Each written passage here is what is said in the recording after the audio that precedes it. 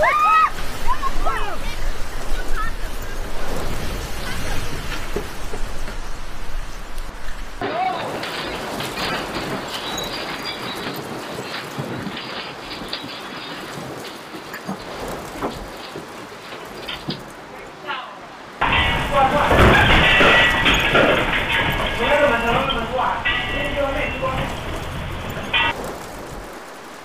A 6.9 magnitude earthquake struck Hualien country in China's Taiwan region, according to the China's Earthquake Network Center, resulting in one fatality when a worker at the cement plant at the epicenter was injured and died at arrival at the hospital. The local fire department reported that 146 people were injured as a result of the earthquake. According to CENC, the epicenter of earthquakes was observed at 23.15 degrees north latitude and 121 disappointed. 1.13 degrees east longitude at a depth of 10 kilometers. According to him, Sunday's earthquake with a magnitude of 6.9 and the earthquake with a magnitude of 6.5. Mainland China is very concerned about the strong earthquake that have rocked the Taiwan region, said Zhu Fengliang, spokesman for the Taiwan Affairs Office of the State Councils. She expressed her condolence to the victims and their families, adding that she hoped those affected by earthquakes would soon return to normal life in July,